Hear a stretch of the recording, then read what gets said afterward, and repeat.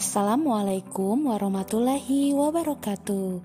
Halo semuanya, bertemu lagi bersama saya Nurul Damayanti. Sebelum kalian melanjutkan video ini, yuk kita lapaskan basmalah bersama-sama. Bismillahirrohmanirrohim. Dalam video pembelajaran kali ini, saya akan membahas tentang bentuk-bentuk perubahan sosial budaya.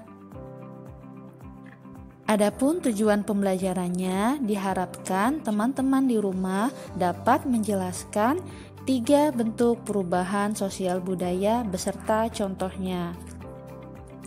Setiap masyarakat pasti mengalami perubahan. Perubahan dalam masyarakat dapat berkaitan dengan perubahan pada lembaga, nilai sosial, pola perilaku, organisasi, kelompok sosial, dan lapisan sosial. Perubahan yang terjadi di masyarakat dikenal juga dengan istilah perubahan sosial budaya. Perubahan sosial budaya meliputi berbagai hal seperti cara berpikir, berperilaku, dan alat-alat. Dalam cara berpikir, masyarakat juga mengalami perubahan. Misalnya, perubahan dari berpikir magis ke rasional atau menerima segala sesuatu secara objektif dengan menggunakan pikiran yang rasional. Selain itu, terdapat juga perubahan dalam penggunaan alat tradisional ke alat yang lebih modern. Perubahan sosial dan perubahan budaya biasanya saling berkaitan.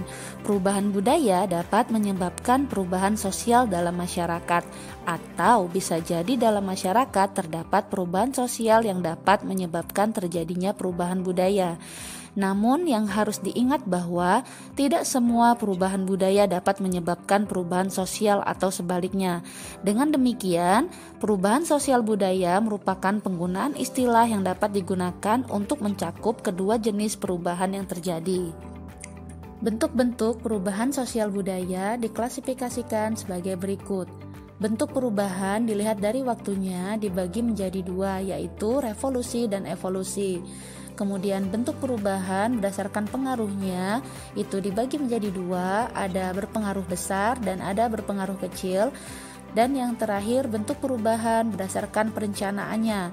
Yang pertama direncanakan dan yang kedua tidak direncanakan.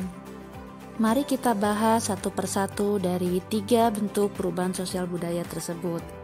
Yang pertama, perubahan sosial budaya dilihat dari waktunya. Perubahan sosial yang terjadi mempunyai kecepatan atau waktu yang berbeda-beda antara masyarakat satu dengan masyarakat yang lain.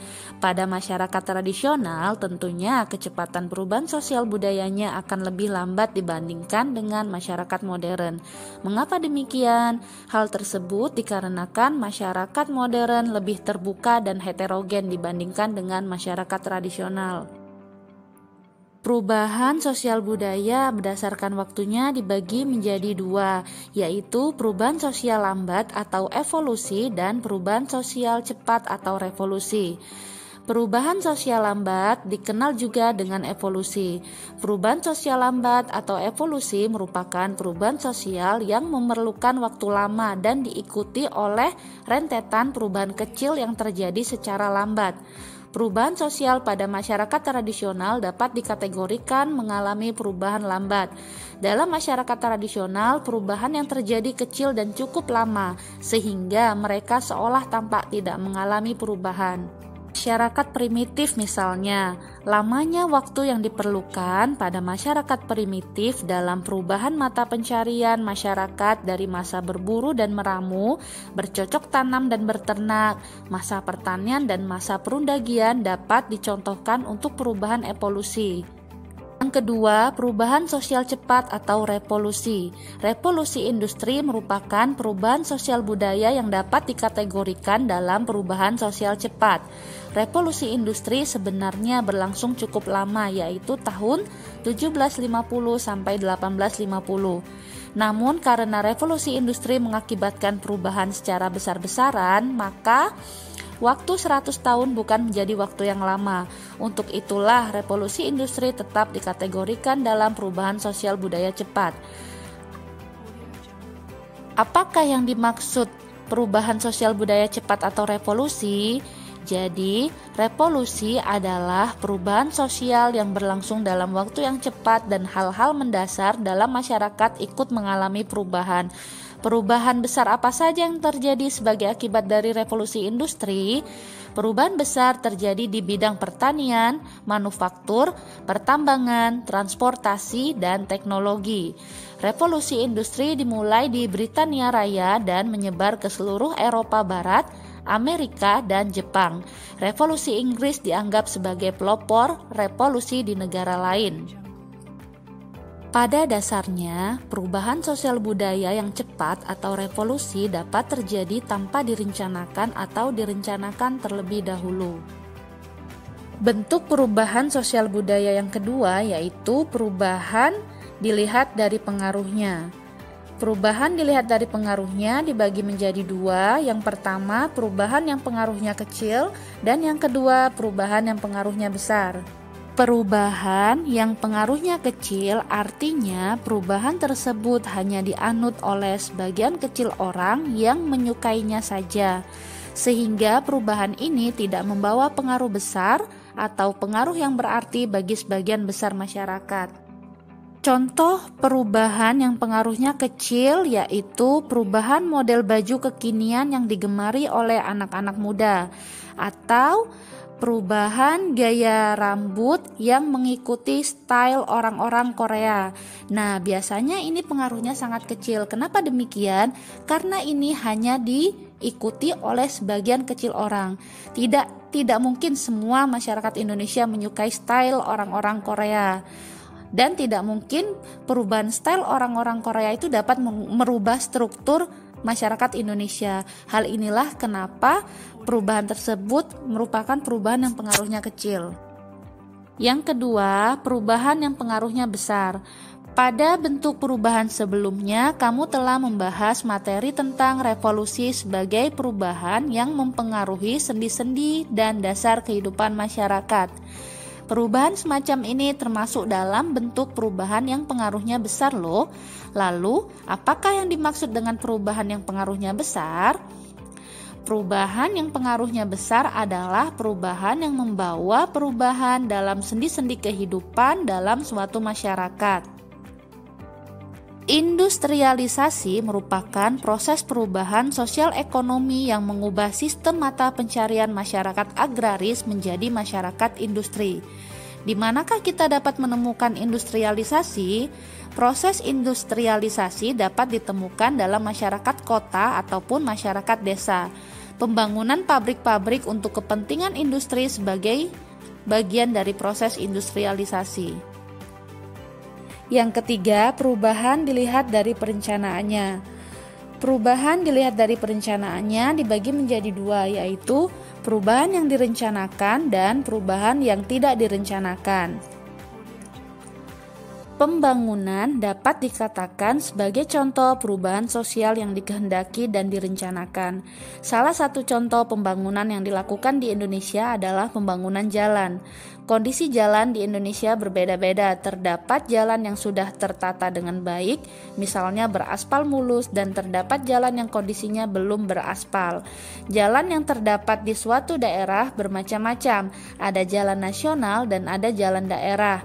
Jalan nasional adalah jalan penghubung antar provinsi yang dibangun untuk memperlancar transportasi lintas nasional, sehingga langsung menjadi tanggung jawab negara. Sedangkan jalan daerah merupakan jalan penghubung antar daerah daerah di dalam provinsi. Jalan penghubung antar kabupaten atau kota menjadi tanggung jawab pemerintah provinsi, sedangkan jalan penghubung antar kecamatan merupakan tanggung jawab pemerintah kabupaten. Siapakah yang merencanakan pembangunan jalan tersebut? Pembangunan jalan direncanakan oleh pihak-pihak yang merencanakan perubahan atau biasa disebut agent of change.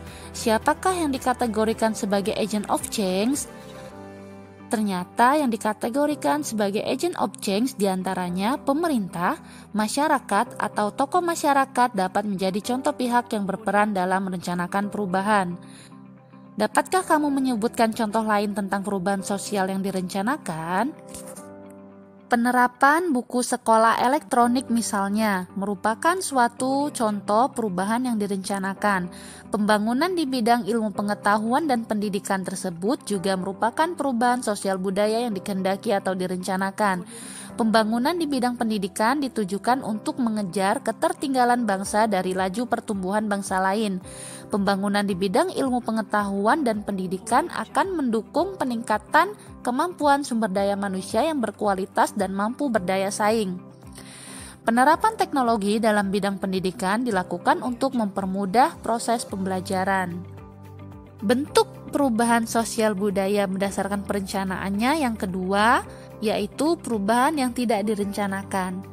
Perubahan sosial budaya yang tidak direncanakan adalah perubahan yang terjadi di luar jangkauan pengawasan masyarakat. Bencana alam seperti gunung meletus, gempa bumi, banjir, dan sebagainya akan membawa perubahan bagi masyarakat yang mengalaminya. Perubahan sosial budaya yang tidak direncanakan terkadang terjadi sebagai akibat perubahan yang direncanakan. Sebagai contoh, Perubahan penggunaan traktor dalam teknologi pertanian merupakan sebuah perubahan yang direncanakan. Kemajuan dan penerapan teknologi tersebut menguntungkan petani karena menghemat tenaga, waktu, dan biaya. Namun, di sisi lain, menimbulkan dampak yang tidak direncanakan. Misal, banyak buruh tani kehilangan pekerjaan karena tenaganya telah digantikan mesin. Selain itu, dampak lainnya adalah memudarnya nilai kegotong royongan warga masyarakat dalam mengerjakan lahan pertaniannya. Kesimpulannya adalah bentuk perubahan dibagi menjadi tiga. Yang pertama, bentuk perubahan dilihat dari waktunya, yaitu revolusi dan evolusi, di mana revolusi merupakan perubahan secara cepat, sedangkan evolusi perubahan secara lambat. Kemudian yang kedua, bentuk perubahan berdasarkan pengaruhnya itu dibagi menjadi dua, ada berpengaruh besar dan berpengaruh kecil. Yang berpengaruh besar itu dapat mempengaruhi semua tatanan kehidupan masyarakat, sedangkan yang pengaruhnya kecil biasanya biasanya hanya diikuti oleh sebagian kecil orang saja. Kemudian yang ketiga, bentuk perubahan berdasarkan perencanaannya dibagi menjadi dua yaitu direncanakan dan tidak direncanakan. Perubahan yang direncanakan merupakan perubahan yang memang diinginkan dan dikehendaki oleh masyarakat atau pihak yang menginginkan perubahan, sedangkan perubahan yang tidak direncanakan merupakan suatu perubahan yang terjadi di luar jangkauan pengawasan masyarakat. Demikian video hari ini, sampai jumpa di video selanjutnya. Tetap jaga kesehatan dan kita tutup dengan melapaskan hamdalah. Alhamdulillahirabbil alamin. Wassalamualaikum warahmatullahi wabarakatuh.